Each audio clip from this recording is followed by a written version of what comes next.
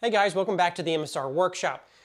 So today we are going to talk about this bandsaw and what I had to fix. In my last video, I kind of hinted at something that I had to fix on this saw. Well, today I'm going to tell you.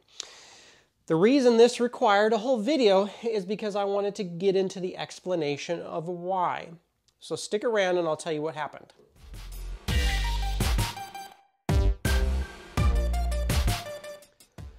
So the story goes like this.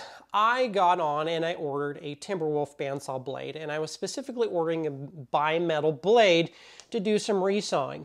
Well, they sent me a blade in the mail and I got the blade and I put it on and the thing was wobbling side to side and not uh, performing like I wanted it to.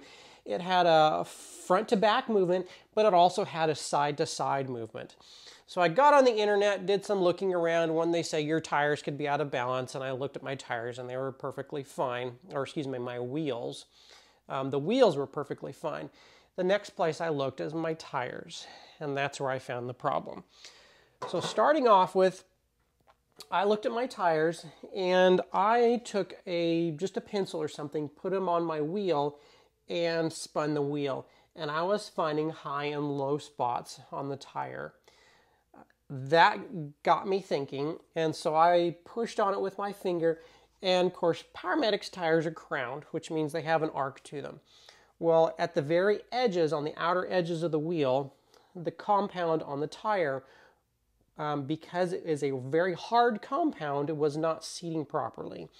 And so that was causing my blade to oscillate a little bit back and forth. So that led me down a rabbit hole and I have since replaced the tires on my bandsaw. So the original tires on the Powermatic bandsaw were these tires. And one thing I found when I took the tires off is the urethane or whatever they use is extremely hard. I mean, these do not stretch at all. They are very, very rigid. They're almost like just a plastic. Um, and that got me thinking, these tires are so hard that they're not conforming to the crown of the wheel that they put on there. And then just looking over this, I found a just, you know, a few small imperfections in the, um, in the plastic. So I thought, well, let's take the tire off and throw a different brand of tire on there. So the first one that came to mind was Carter. Um, my local Woodcraft carries Carter tires, and on my Rikon saw that I previously had, it had rubber tires on it. Well, the rubber had started to get pitted just a little bit, and you know the saw was making just a little bit more vibration than I wanted to, so I wanted to try see what the Carter tires did. So I threw a pair of Carter tires on there, and I really was impressed um, by how the saw ran. It ran a little bit quieter, ran a little bit smoother. So I'm like, hey, what have I got to lose? I'm gonna throw some Carter tires on there.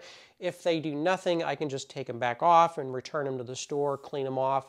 You know, I'm not gonna be using them, just seeing how the blade tracks, and I can pop these guys back on.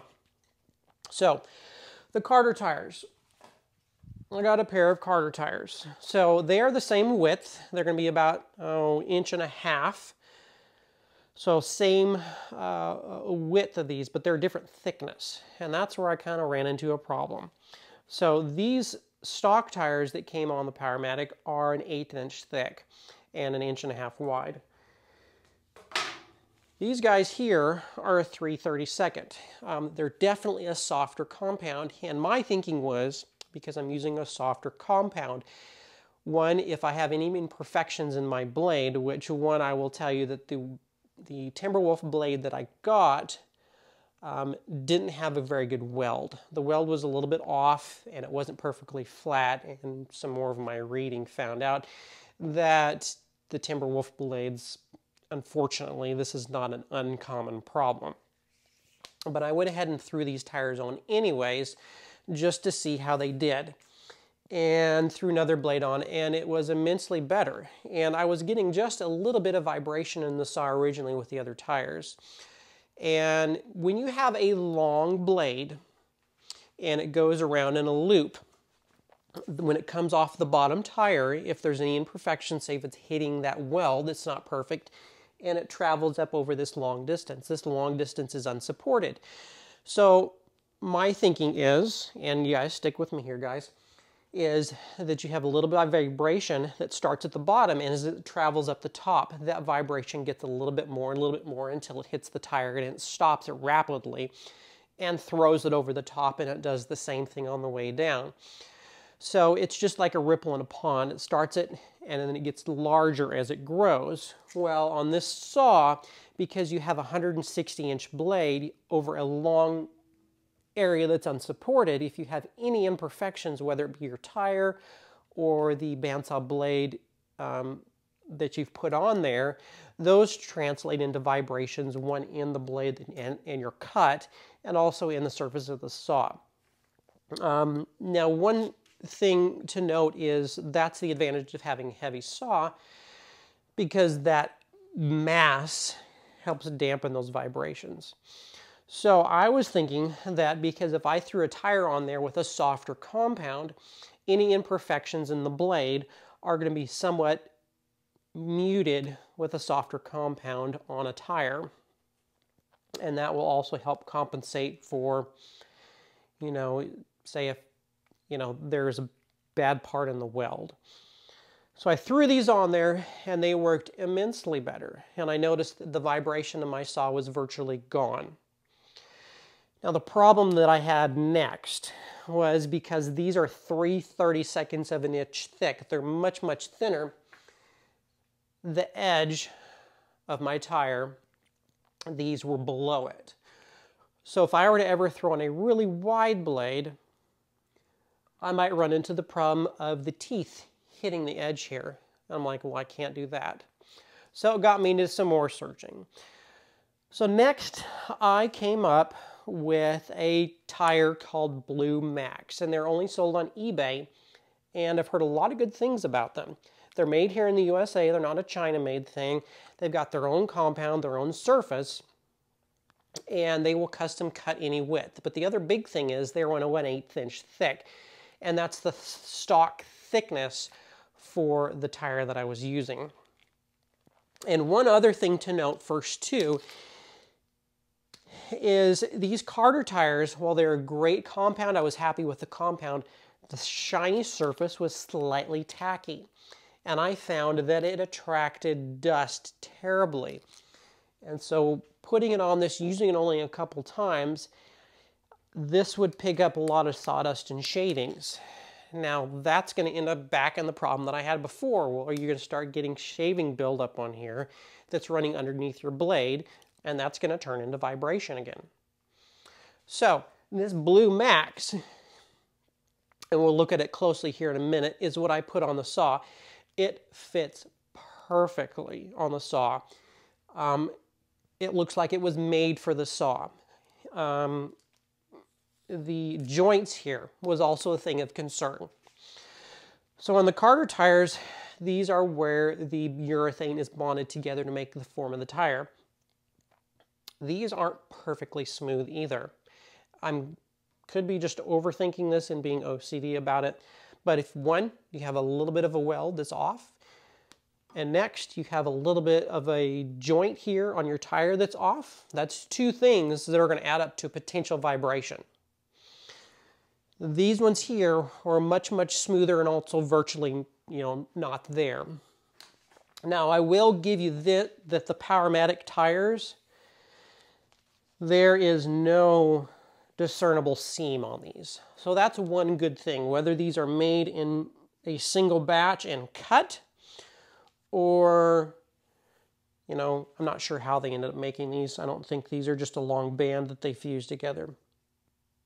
But the compound is just too ridiculously hard. So the Blue Max tires, they're made here in the USA. They've got their own compound. And one, the surface is almost, if you look at it really closely, it's almost dimpled. And what that does is because it's almost a dimpled surface, it helps repel the dust. And I haven't found that I've had any problems with dust buildup or shaving buildup on the tire surface. And they claim that the surface that they use is strictly unique to their tires. Didn't have any problems getting any of these tires on or off. And the key to doing that is people take your take your wheel off. It's it's really simple. You have a single bolt, it slides right off. Then you can loop the bottom over, put a clamp on the side, and just do a pull up, and you've got your tires on. But the big thing is these fit perfectly. They're an eight inch thick, so I don't have a gap here. And you'll see in a picture that I threw up is these are stretched and it ends up leaving a little bit of a gap on the other side as well. Not just the ridge of the tire that didn't fit you know, flush with the top, but also there was a gap side to side. Even though these performed good, I needed something better. So I went with the Blue Max tires and I could not be happier. Um, I will throw up a link to their eBay site. So if you're interested, you can go there and they will pretty much make any tire for your saw. But I would suspect that these would be fantastic in different applications. More people use them for smaller saws than really large saws like this. Now, one other problem that I potentially think could be something in the future is depending on how firm or how not firm the compound is. Think of it as like a rubber band. If I was to fold a rubber band over, you know, say a dowel rod, and then take my fingers and push down, that rubber band is going to stretch. Well, if I have a big blade on a saw like this that I am pushing so hard at the top to tension that blade, it's going to stretch that um, more so over the wheel itself. And I could lead to premature tire failure because I'm overstretching this on the top here where it's just pulling it down, it's just mangling it.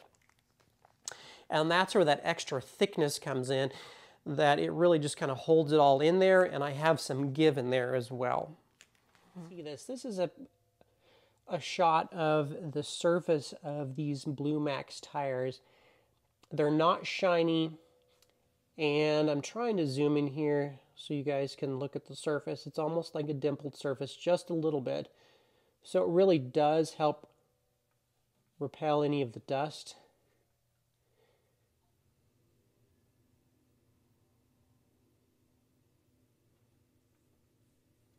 that these saws get on the tires. You can also see that this is a perfect flush. I don't have any gap there whatsoever. And they even sent a little installation tool to help you even the stretch all the way around the tire. So the last thing I'm going to do is going to require me to do a little drawing to explain. So hopefully you can bear with me and um, understand what I'm drawing here.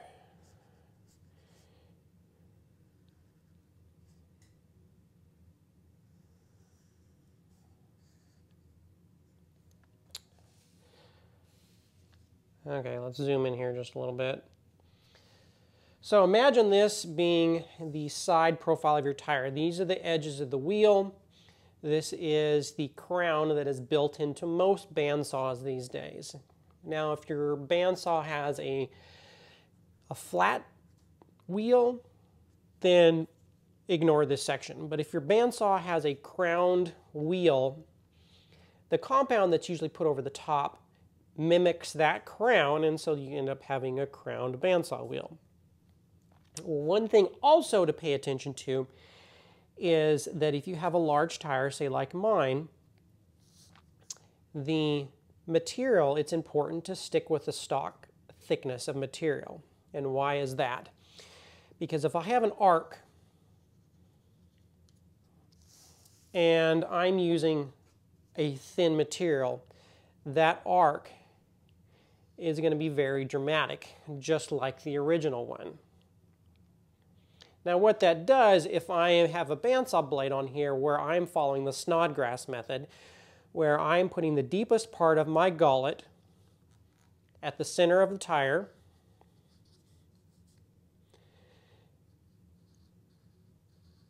the back half of the blade is not supported. Well, that's okay but because you have such a dramatic arc because you're using a thin bandsaw tire material, say like the Carter, not very much of it is supported right there. Now starting over, same arc, but this time I'm using a thick material.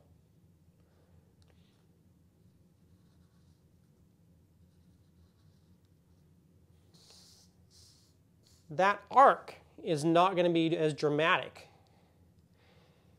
because I'm using a much thicker material.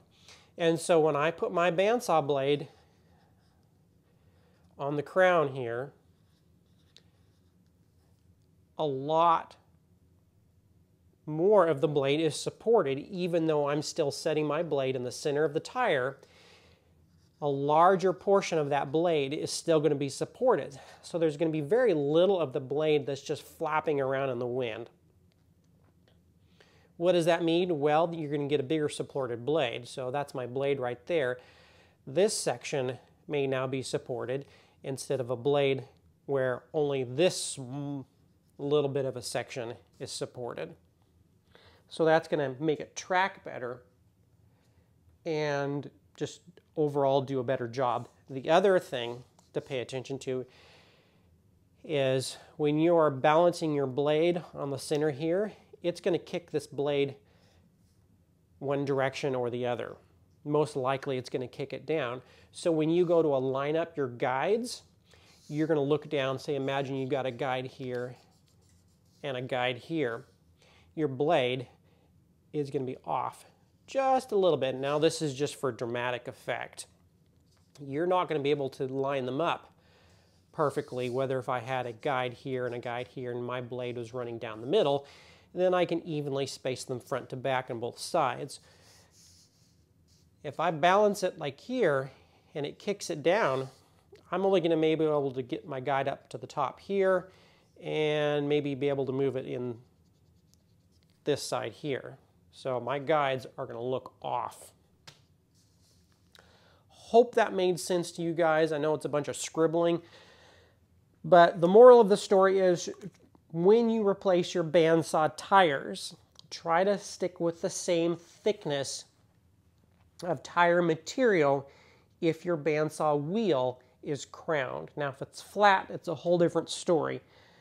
But if it's crowned, you'll want to try and stick with the same thickness of material because if you do a thinner material, that crown is going to be much more dramatic than it was with the original material there. Well guys, I hope that was helpful for you and I just didn't ramble on forever and didn't make a bunch of sense. But I'm really happy with the tires that I've got on here now. I wish Powermatic's compound wasn't so freaking hard because I feel like because it's so hard, it's just like running your car. If any of you have run low profile tires, your ride is a lot harder on the ground and you're feeling every vibration transferred up into your car. Whereas if you run a thick tire or even run a lower pressure tire, say if you're going off-roading, you drop your pressure back down, then go ride on the freeway, you're gonna notice that your ride is much cushier than it was if you pumped it up to like 40 PSI and you had a rock hard tire. Anyways, guys, if I left something out or if you have a question about my process, be sure and leave a comment below and hit the like and subscribe button. Thanks.